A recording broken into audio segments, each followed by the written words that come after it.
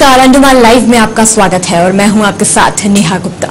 अंडमान निकोबार द्वीप में पहली बार पर्यटकों और घूमने आए सभी सैलानियों के लिए सेल्फ ड्राइविंग की सेवा को शुरू कर दिया गया है। अंडमान सफारी प्राइवेट लिमिटेड द्वारा अब कई गाड़ियों को पर्यटकों के लिए रखा गया है जिसे पर्यटक खुद से ही चला सकते हैं और सेल्फ ड्राइविंग तथा एडवेंचर ड्राइविंग का भी मज़ा ले सकते हैं। इस सेवा का उद्घाटन कल पोर्ट प्लेयर के सिंक लेयर होटल में किया गया।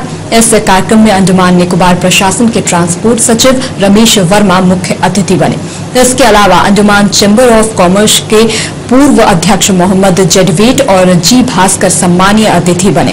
कार्यक्रम के दौरान अंडमान सफारी प्राइवेट लिमिटेड के एमडी अशरफ हनीफ ने कहा कि उनका ये मानना है कि पर्यटकों को अपने आप से घूमने की छूट मिलनी चाहिए, जैसे कि कई राज्यों में और विदेशों में होता है और इसीलिए उन्होंने सेल्फ ड्राइविंग सेवा शुरू की है। उन्होंने कहा कि सेल्फ ड्राइविंग से पर्यटक खुद से गाड़ी चलाते वक्त अपने आप को स्वतंत्र महसूस कर सकते हैं और जहाँ चाहे वहाँ तक घूम सकते हैं। इसके ऊपर कोई पाबंदी नहीं होती। उन्होंने कहा कि उनके इस प्रयास में एम ए तमहिद और अजय कुमार उनके को पार्टनर हैं। और अंडमान सफारी मैं इतना ही बोलूँगा कि इट्स लाइक न्यू वेंचर जहाँ पे आप लोग बहुत जल्द शायद सेल्फ ड्राइविंग के बारे में सुना होगा, जहाँ पे मिलिन पे या गोवा में फॉरेन कंट्री में जहाँ पे आप लोग सेल्फ ड्राइव करते हो, जहाँ पे गाड़ी आप हायर करते हो, अपने हिसाब से जहाँ चाहे वहाँ जा सकते हो। तो वही चीज़ हमने अंडमान पे लाया है कि आप अपने हिसाब से आप अंडमान में जहाँ चाहे, जहाँ पर परमिट दिया गया है, जहाँ पर परमिट अलाउ किया गया है कि इस जगह तक जा सकती है वो गाड़ी, आप वहाँ तक जा सकते हैं।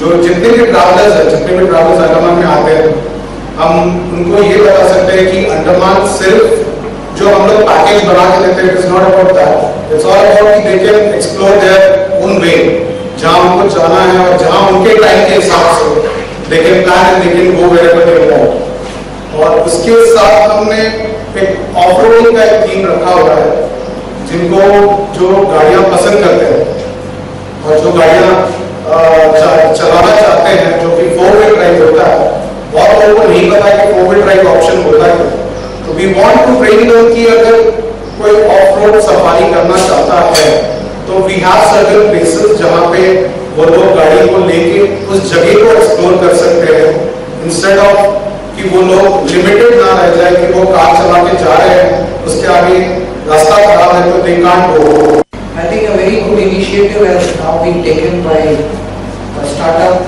entrepreneur and uh, he must be. As we all know, tourism is something which is the thrust area for the government.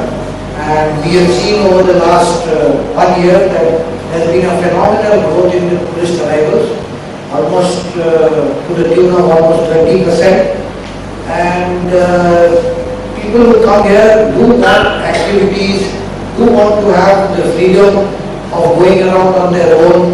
So this kind of a venture will be definitely successful and I wish them all the best because we ourselves when we go to places like Goa and abroad, we try to take or tend to take self-drive vehicles and uh, so that we are comfortable and we can go around. We will have a challenge about uh, the GPS not operating here, so finding roads. But I think we do not have that much of complications in our road network, and I'm sure people will find their own way. And as uh, Mr. Jyoti just mentioned you regarding new adventures in our tourism vehicle here. See, not only this, but yesterday we also met one of the beach here.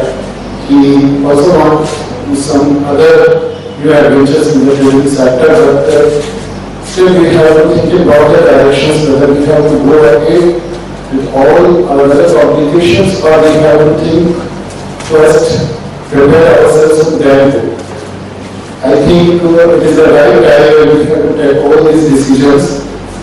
पहली concern आपको बता दूँ, from transport point of view, we have limitations of road sector.